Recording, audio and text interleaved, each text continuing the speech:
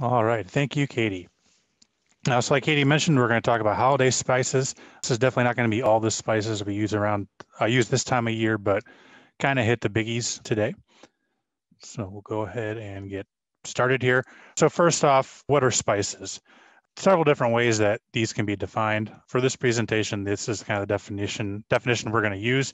Spices are going to be coming from the roots, the flowers, the fruits. Typically, they're going to be dried if we're using the fruits, uh, seeds, or bark of plants. These plants that these spices are coming from are native to warm tropical areas. And compared to herbs, spices often have much stronger flavors, much more pungent. So we typically use them in smaller amounts compared to herbs.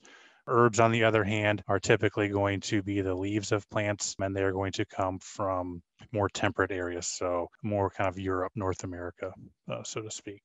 The spices, trying to get access to them kind of kicked off the age of exploration uh, when we're talking about European history, trying to find ways to get to particularly Southeast Asia to get access to these spices is what led to that age of exploration, led to Christopher Columbus discovering North America for Europeans. So spices are kind of woven throughout human history.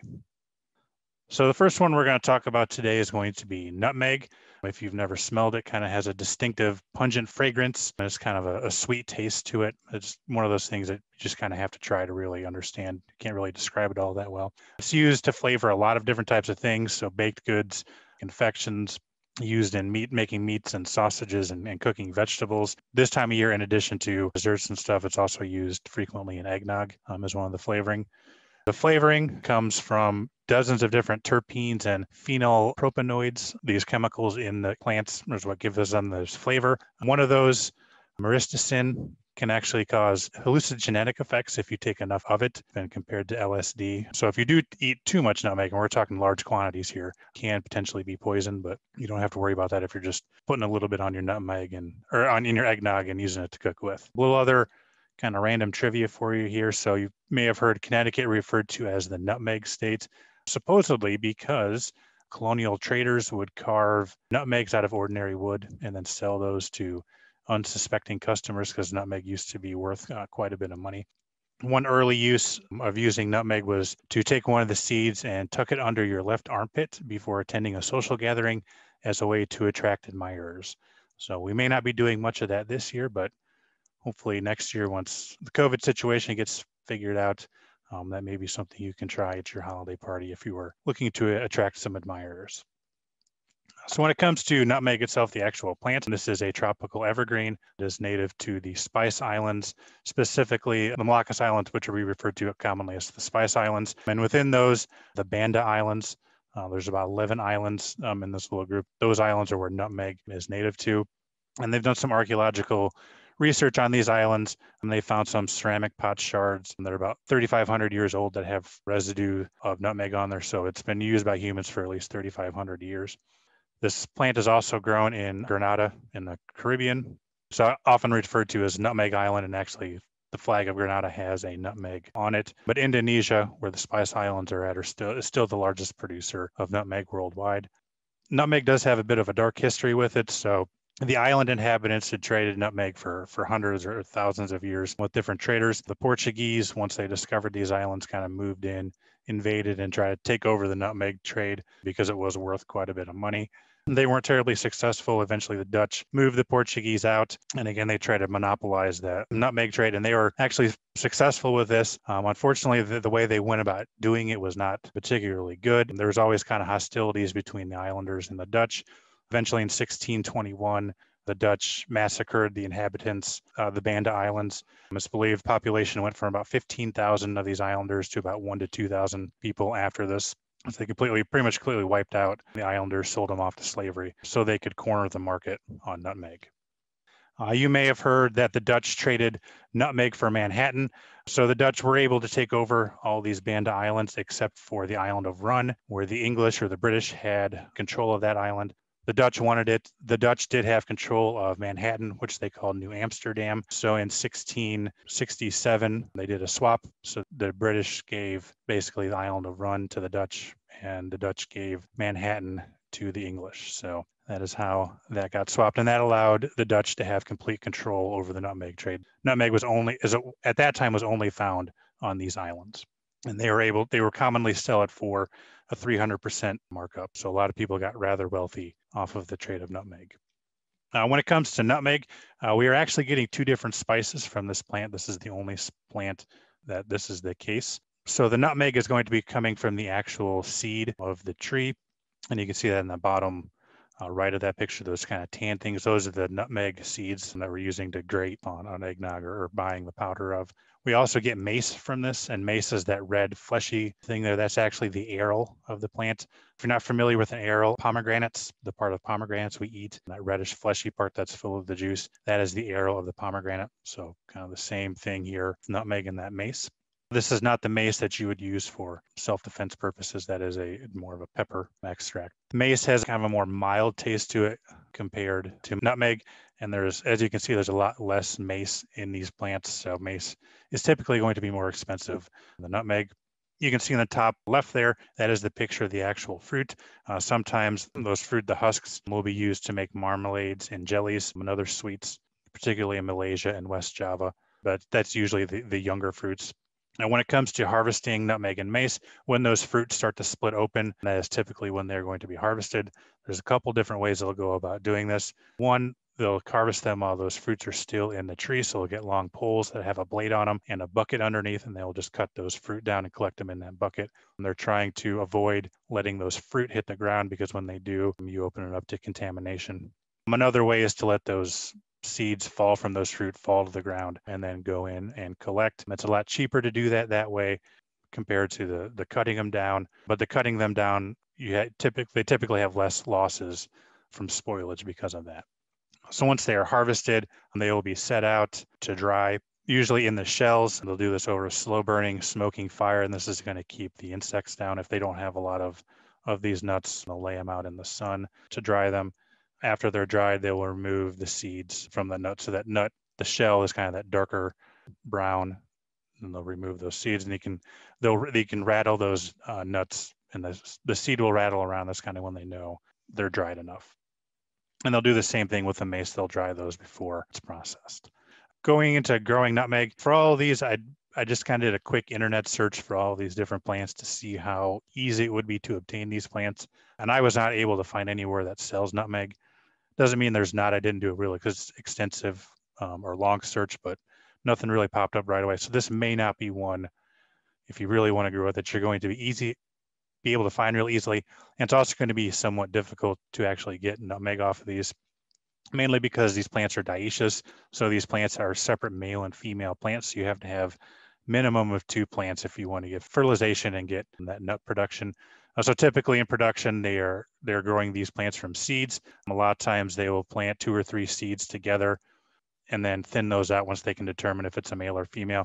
Typically it takes six years after planting for those plants to flower. And that's really the only way you can determine if it's a male or female plant. So they'll go through, thin those out. Usually they'll have about 10% males to get real good production.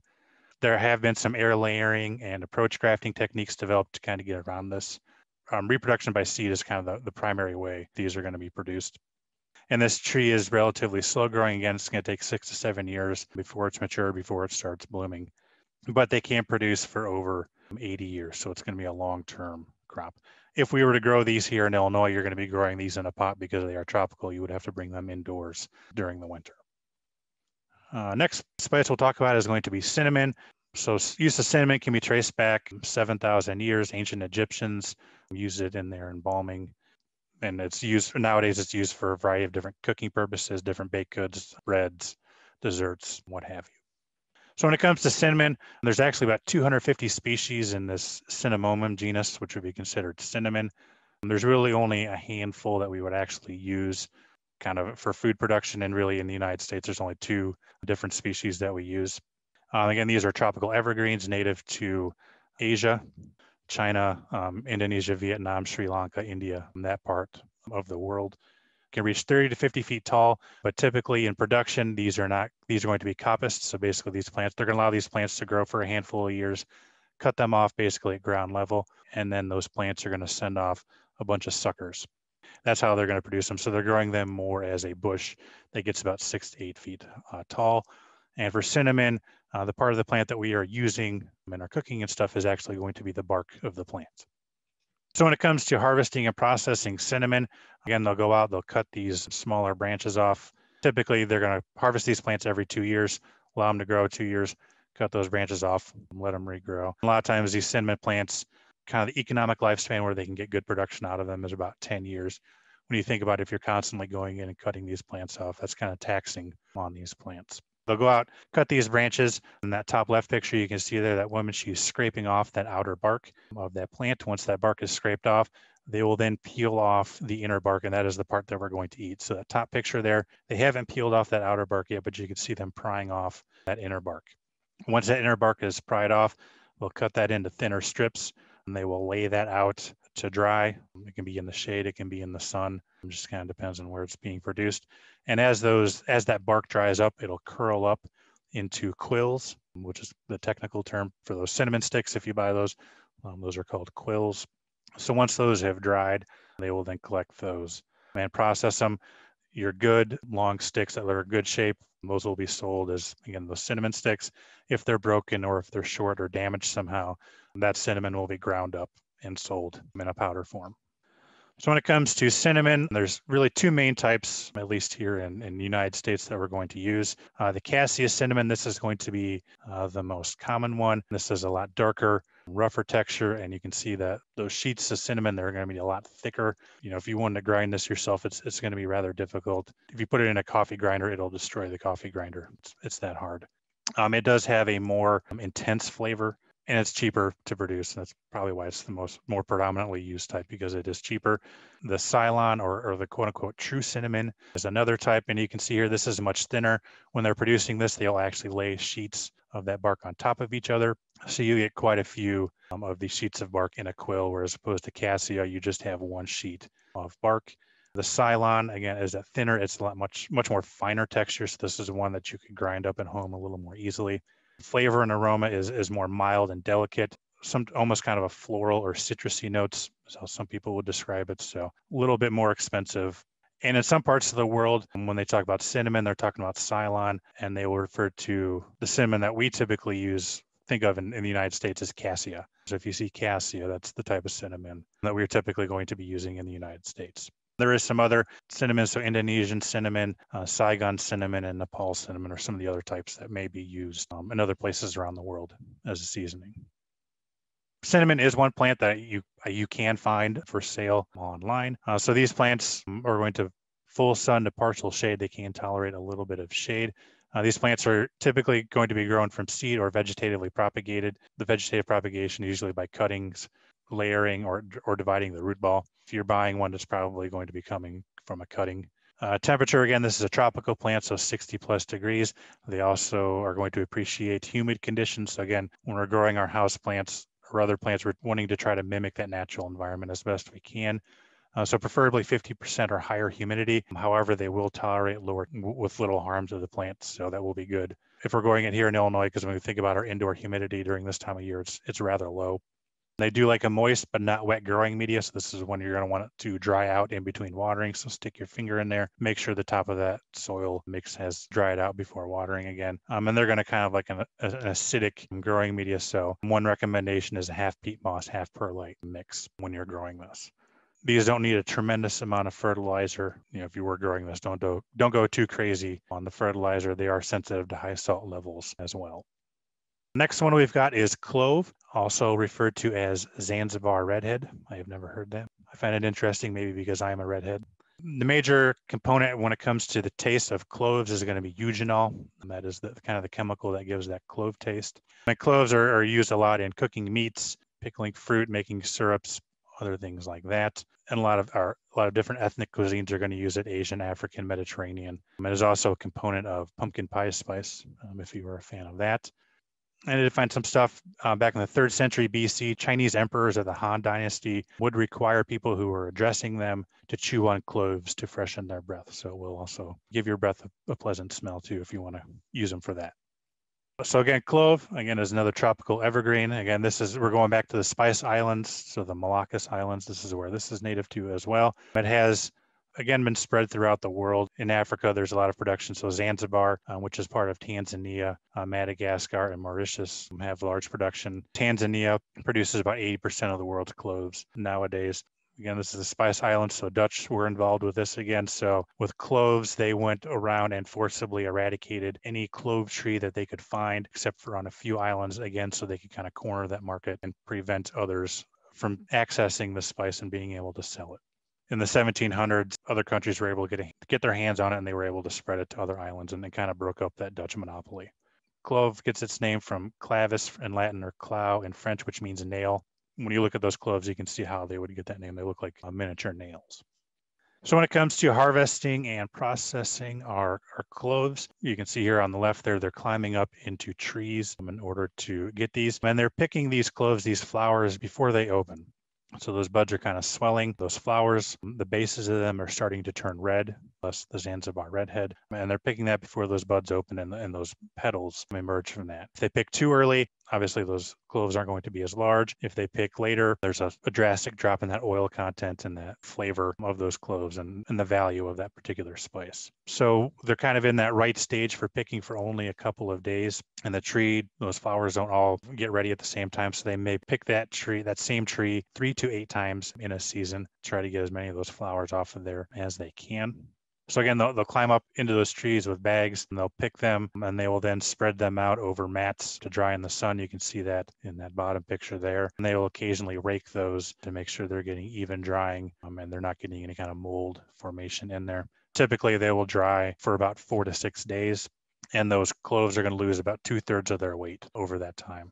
You know, putting this together, looking for pictures, found a lot of pictures of putting these cloves out on the road to dry, kind of along the road and the sidewalk and stuff a lot of times whatever area is available to dry them they'll use so when it comes to growing cloves this is another one that may be a little more difficult to get your hands on but may be able to find some if you really wanted to grow them uh, they're typically going to be propagated by seed so these clove trees are um, monoecious, so you have both male and female flowers on the same plant, um, and they're self-pollinating. So you only need one plant in order to get clove production.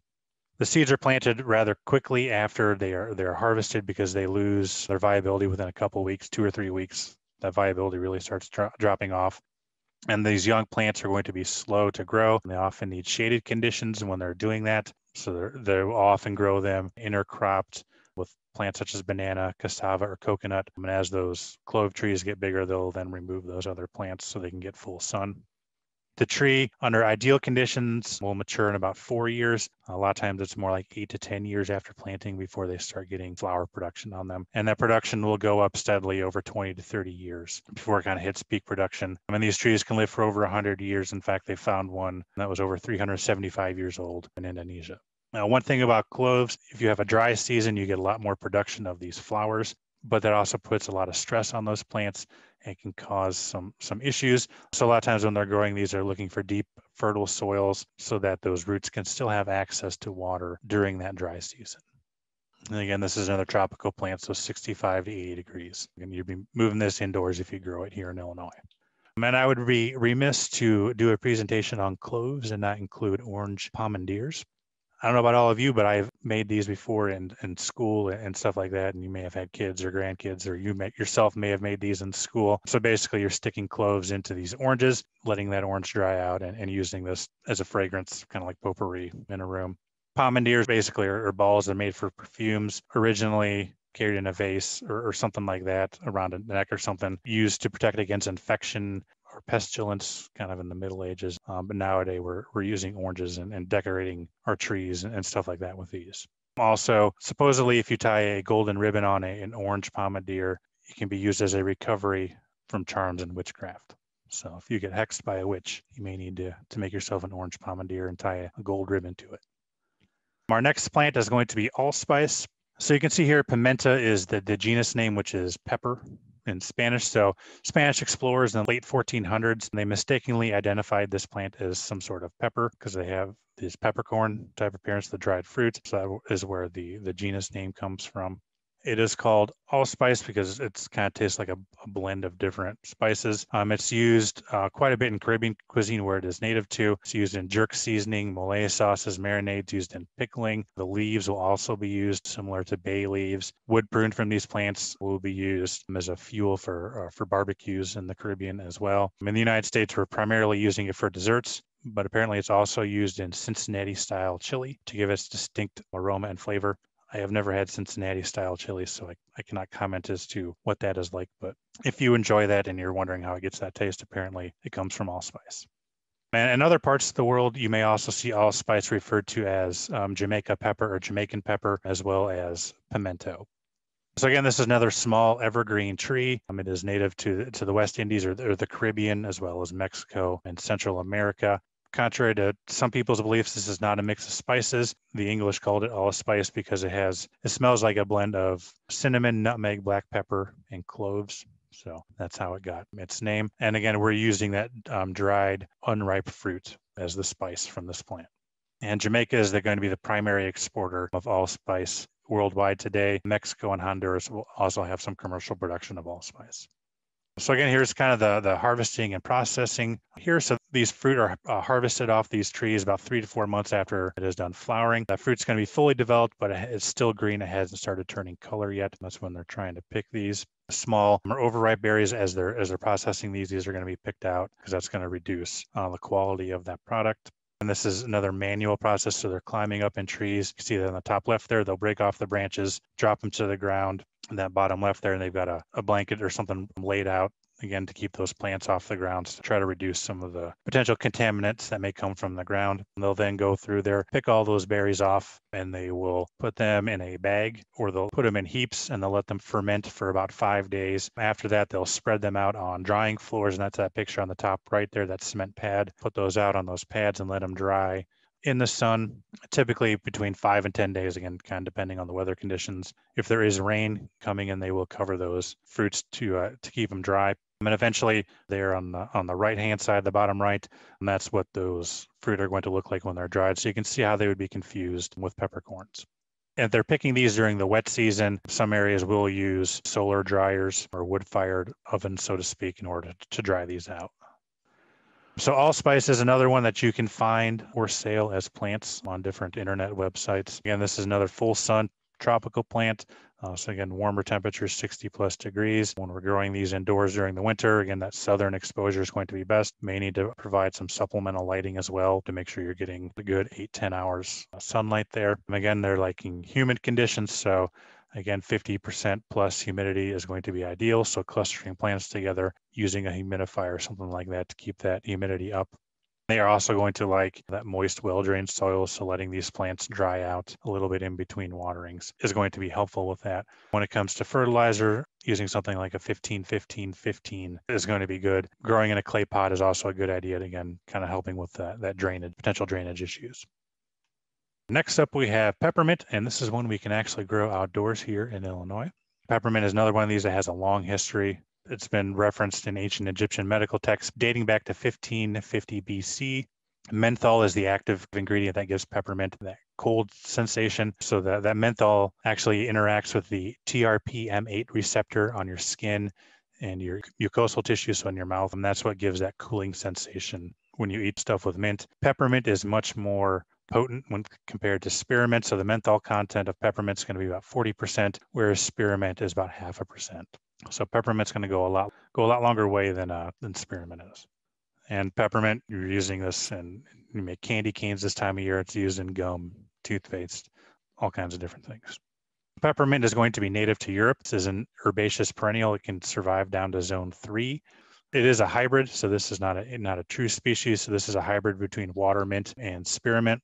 Uh, peppermint is going to have dark green leaves, it's going to have reddish stems and, and purplish flowers, whereas spearmint, they're going to be lighter green in color and they have their leaves are more sh- sharp and pointed and they almost look kind of scaly with all the, the veins in them. And spearmint has white flowers. That's how you can tell those two plants apart. Peppermint can grow one to three feet tall, and then we're using the leaves of these plants. There are a variety of different cultivars of peppermint available. So you've got stuff like chocolate mint, which is supposed to have a flavor reminiscent of chocolate mints. Um, I've, I've never eaten this, but that's what they say. And there's um, a lime mint, which is the foliage is supposed to be lime scented. There's some variegated varieties out there as well. So when it comes to growing peppermint or really mints in general, they're going to like full sun and they can tolerate some light shade as well though. They do like moist soils. So you have an area that's that's a little on the dry side. Mints may not do as well there as they as they could possibly do. When it comes to peppermint, these are going to be done by stem or root cutting. And these are a hybrid. They are sterile hybrids. So they do not produce viable seed.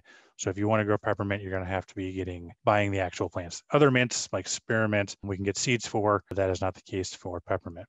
Peppermint and, and mints in general are going to readily spread, which means they are on the aggressive side. So if you're growing these in a small area, either you're going to have to be be thinning these out or they can quickly take over an area. So typically, a lot of times these are going to be grown in pots to kind of contain them, grown in raised beds. Find some way to contain these plants so they don't quickly take over your garden. Really like peppermint and you want to take it over, can make a good ground cover, especially in, in a little more moist areas.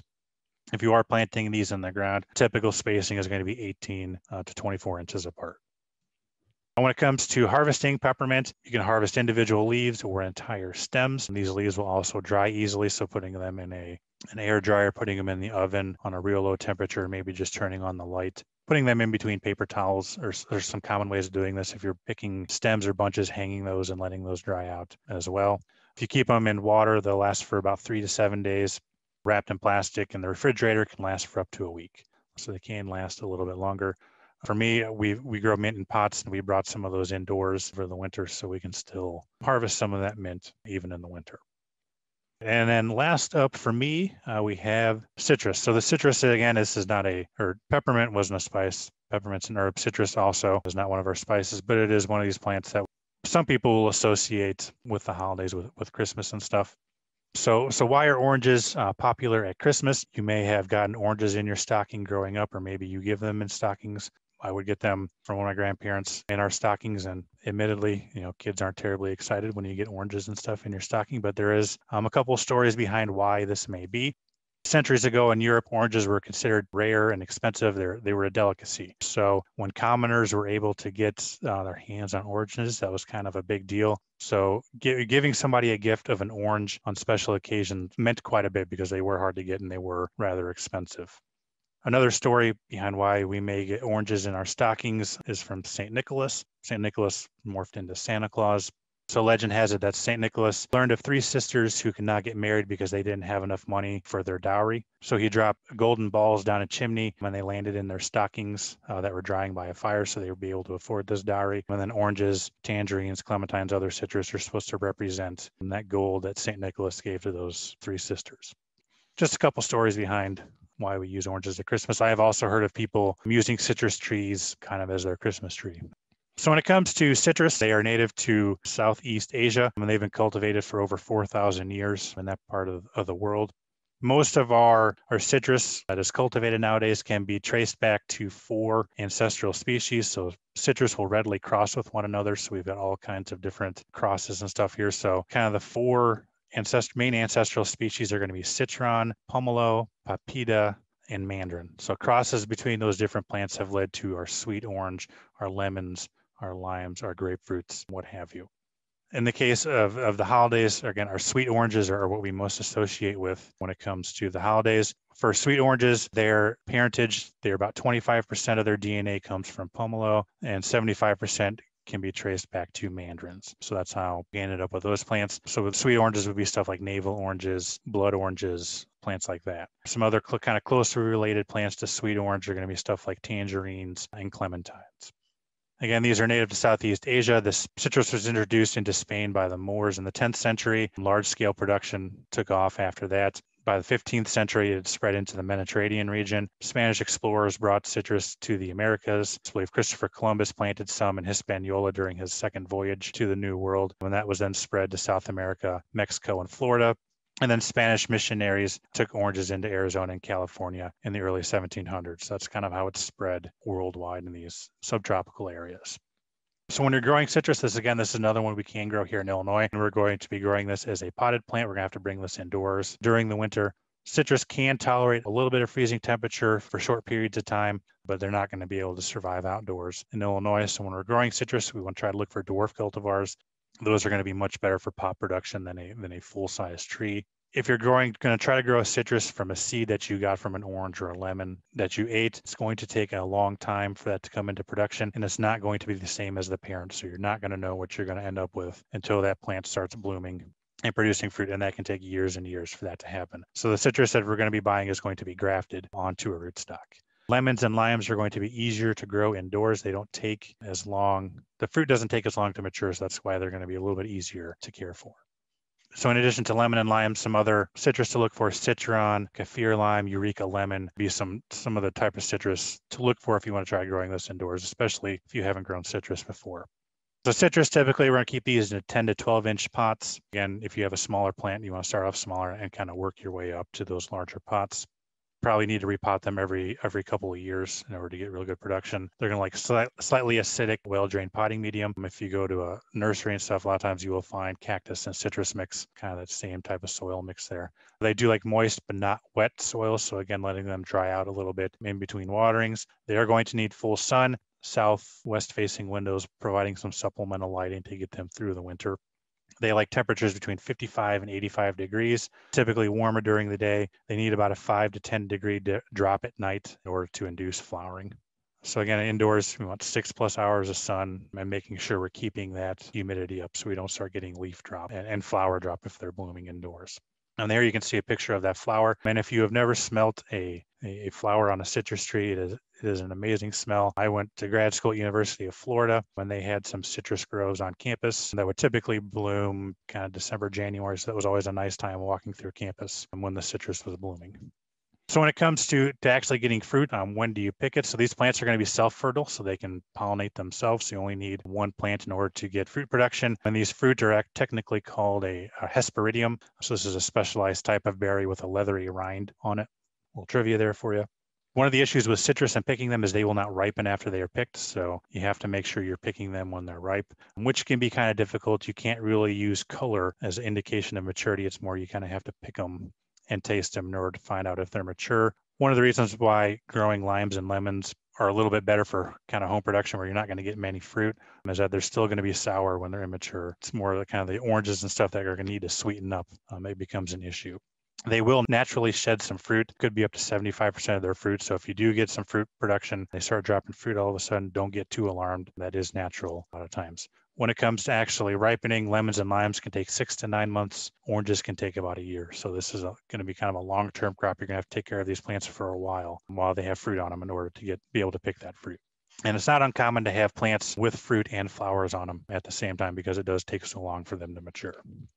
There is a type of citrus you can grow outside in Illinois. It's not a true citrus, but hardy or trifoliate orange is hardy to zone five. Um, it has that citrus look. It has fruit that looks like citrus. You can see it has some really nice, gnarly looking thorns on there. So if you are somebody who does not like people coming onto your lawn, grow yourself a hedge of this and you will no longer have any issues with people coming into your yard. Trees get about 8 to 15 feet tall and wide. The fruit is edible, but it is incredibly acidic and seedy. So typically people are going to be using this more as an ornamental. They're not going to pick that fruit. If you eat too many of the fruits, you can get, because it is so acidic, you can get severe stomach pains and nausea from eating those.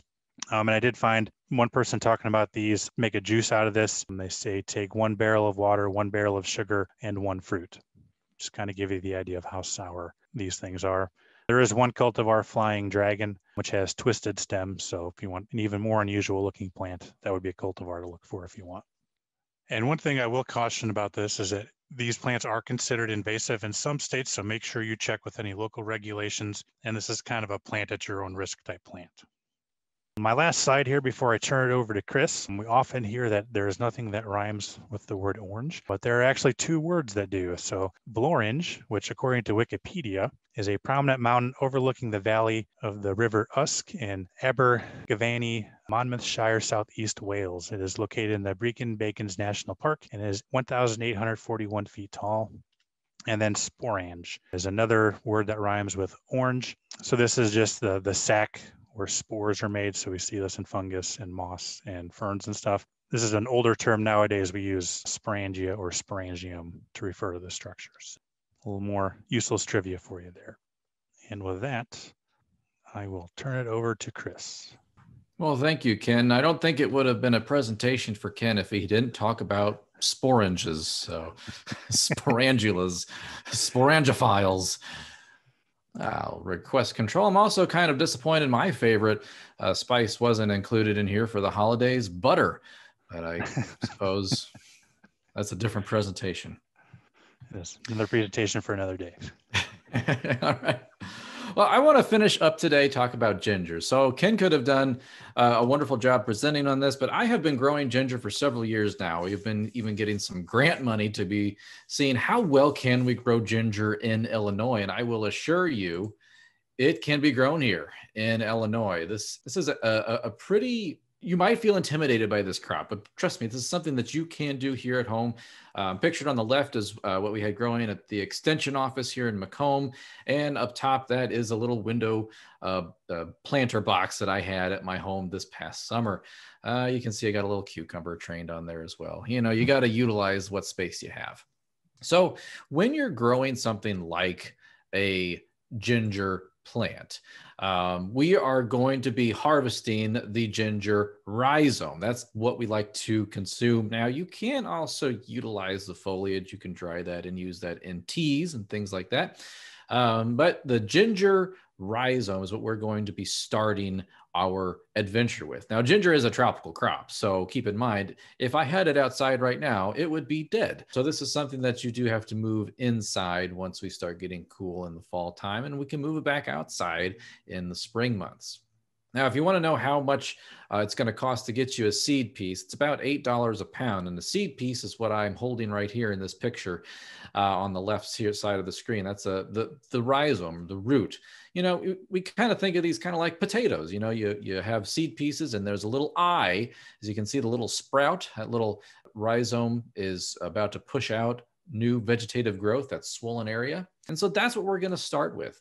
You want to make sure that you're not putting a diseased seed piece in the ground. And now disease is kind of what you're seeing there on the right uh, picture there.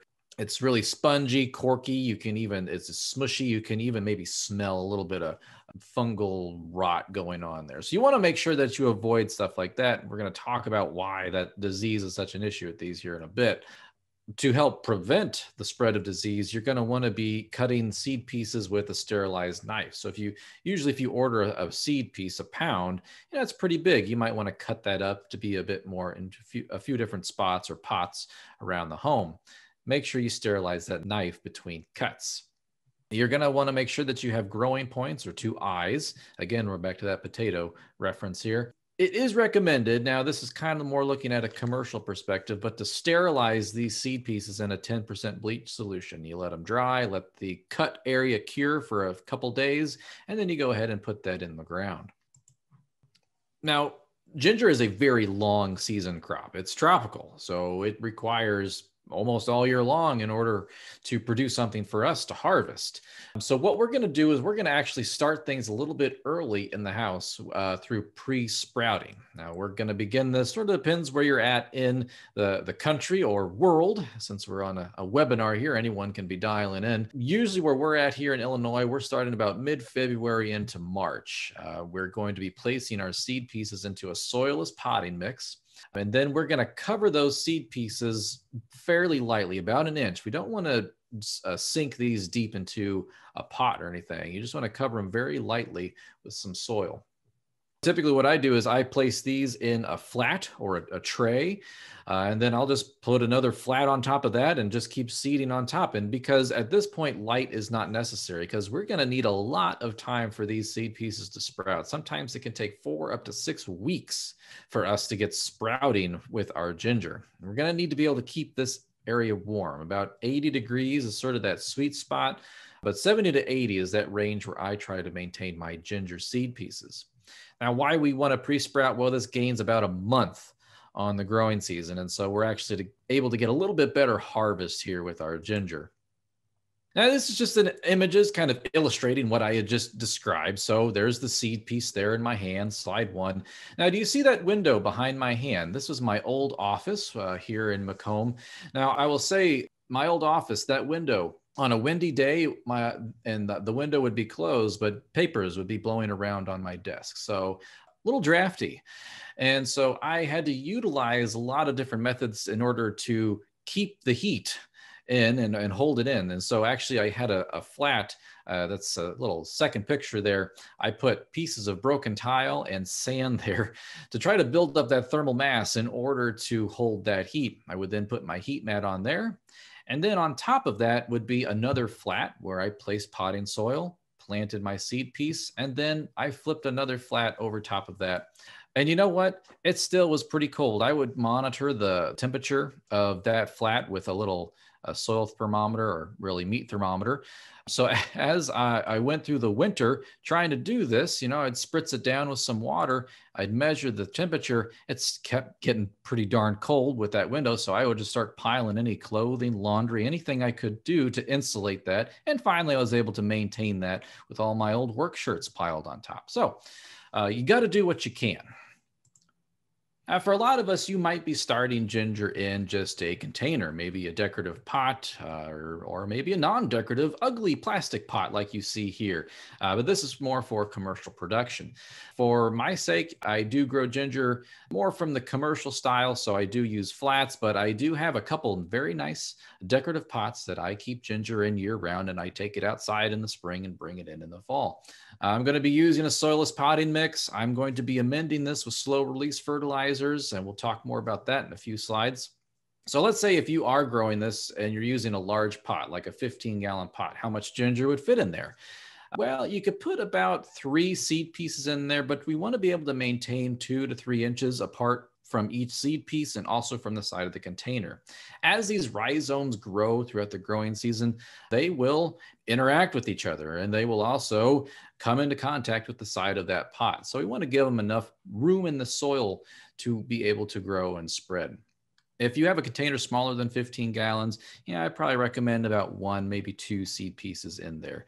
Now, if you are growing these in containers, keep in mind we said tropical crop. We're looking at sort of a target temperature of 55 degrees. If it gets under that, we really want to be moving these inside, uh, uh, maybe move them into the garage or put them in the house, especially if it's going to be following under 55 degrees. At, at that point, you know, you could take these could go into the 40s, but then they start suffering cold stress. Uh, and so we don't want to put them in that because that just slows them down even more. So try to keep them in an area above 55 degrees air temperature.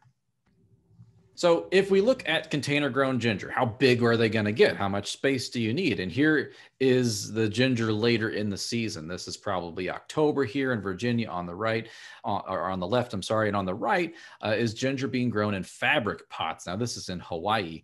What they're doing here in Hawaii is they are uh, growing seed pieces, which they're then going to sell and ship to folks, probably mostly in the continental or in the other parts of the United States, North America. Now, a lot of ginger was actually produced in Hawaii, but they did run into an issue with a soil borne bacterial wilt disease, which actually really hampered the growth of this crop in Hawaii. So, a lot of what happens in Hawaii is done indoors, and as you can see here, in like a covered greenhouse structure. Uh, most of the ginger that we have in our big grocery stores these days comes from India. And so from India by way of China into the United States is how most of the ginger winds up in our grocery stores. But you're going to need some space for uh, container grown ginger. It can get tall. You know, uh, a healthy ginger plant it will get up to about waist to shoulder high on me. And so, and I'm 5'10. So that these can get to be pretty big and leafy plants. Now, let's say you have a wild hair and you want to try growing these in ground. Well, the way to plant these is you sort of treat them like asparagus. You know, with asparagus, you cut a deep trench, four to six inches deep, and then you would put your asparagus seed pieces in the trench, and then you would slowly build up that soil around it. You do the same thing with ginger. So with ginger, you're going to cut a deep trench just like asparagus, amend that trench with compost and a slow release fertilizer. Typically, we see good root development in soils that are uh, have a high amount of phosphorus. And so that means it's an extension program. So I'm going to say it, folks. You're going to have to do a soil test to see where you're starting.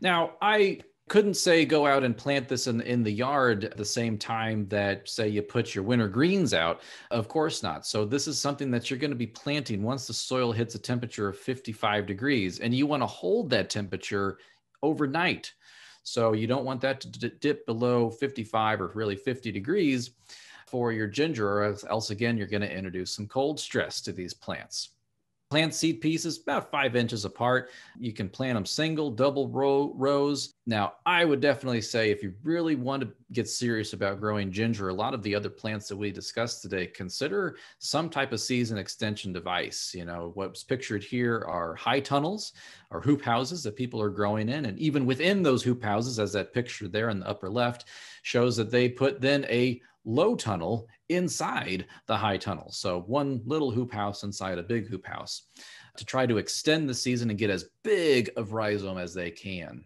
Now, why we cut those deep trenches is we're going to be doing a practice called hilling. Now, hilling, again, we're going to go back to potatoes as an example. Ginger grows up and out, kind of like a potato. So you have to keep adding soil or straw or some material to help cover up those roots that are being exposed as it grows up and out. Ginger does the same thing. So as you can see in the upper right hand photo here, this is the root growing up out of the soil. That is when you need to be hilling it or adding soil over top to block light sunlight from getting there, which then initiates additional root growth. So hilling is something that you're going to be doing uh, whether you're growing in ground or in a pot. So if you're growing in a pot, you might actually plant it a little bit, uh, you know, put a little bit of shallow amount of soil in there and just know that over time you're going to be adding a little bit more soil, a little bit more soil to that container.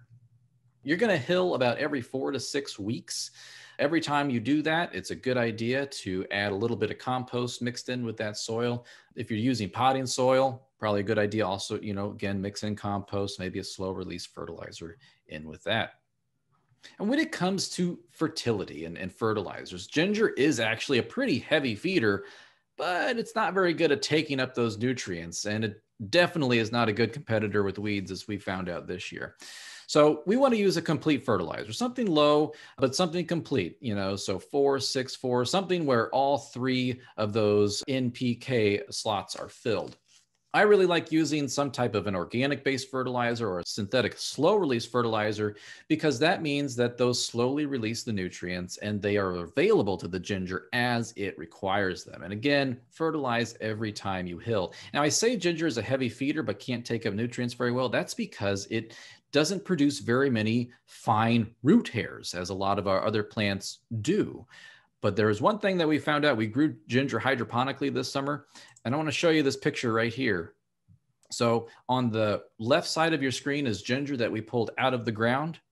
On the right side of your screen is ginger that was grown hydroponically. Now, I've never seen roots develop so many smaller, fine root hairs. Unfortunately, we had to terminate this crop because this was being done at Western Illinois University. They had another research project coming into their hydroponic facility. So we had to terminate the crop, but I would have loved to have seen what would all of these tiny roots have developed into? Would this become just a massive head of ginger roots? Ah, I, I want to try it again and see what we can get. Now, in terms of watering, if you're planting these in the ground, put them on a drip irrigation system. Take the guesswork out of watering and, and just get them on a drip system. Ginger likes consistent watering, but it doesn't like to be sitting in water. Too much water is going to slow growth. Overwatering, however, that's going to be also leaching out nutrients. So that means you're going to be fertilizing more often. Now, Illinois doesn't necessarily have a problem with humidity when it comes to the summer months, but if you do live in a part of the world where you do have low humidity, a misting system is a very good recommendation to kind of keep that humidity up around the canopy of the plants. Now we think of gin- the, as this is a, a, tropical crop, so it must like hot soils. Well, actually, it you know tropical crops they like moderated soils. So in, in Illinois, we get freezing cold soils, but then we also in the summer months get really, really hot soils. Uh, and if you're growing in a high tunnel or something, you're going to get super hot soils. So they actually fail to thrive in temperatures over 90 degrees. So afternoon sun, if you're in a hot part here in Illinois, that's probably going to be beneficial to this plant. Use a soil thermometer to help monitor this. Shade cloth helps. You can dense, uh, increase the spacing, make it more dense so that the canopy closes in and keeps that soil cooler, or run your irrigation system a little bit longer. Most of the time, as a gardener, you're going to be harvesting baby ginger. This is going to be different than the mature ginger we pull out at the grocery store, which has been cured and has that skin on it baby ginger or immature ginger doesn't have that waxy skin cuticle developed on it and is not as fibrous as that ginger that you get at the store. So what I do is I pull the baby ginger out of the my pots that I use and then I just take my grater and I just, you know, wash it off, of course, but then I grate it right into the dish whatever I'm making from gingerbread to to a stir fry. You can you take baby ginger and you just grate it directly into that. You don't need to peel it.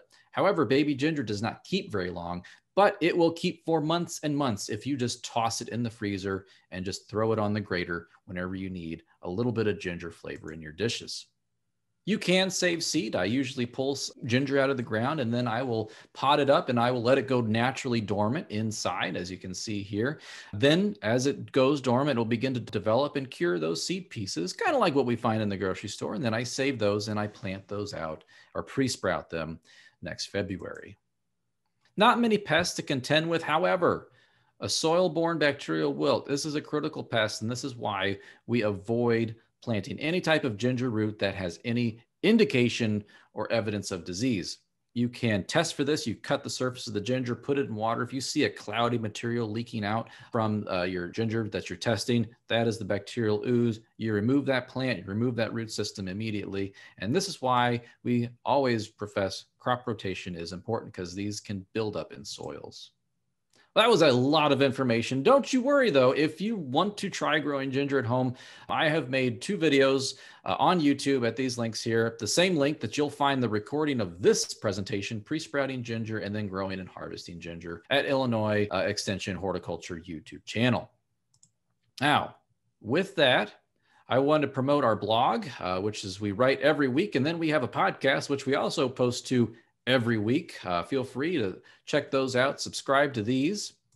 Uh, there's Ken, as he said, he's a redhead, and there's me. I uh, I'm not a redhead. Um, feel free to get in touch with us if you do have questions.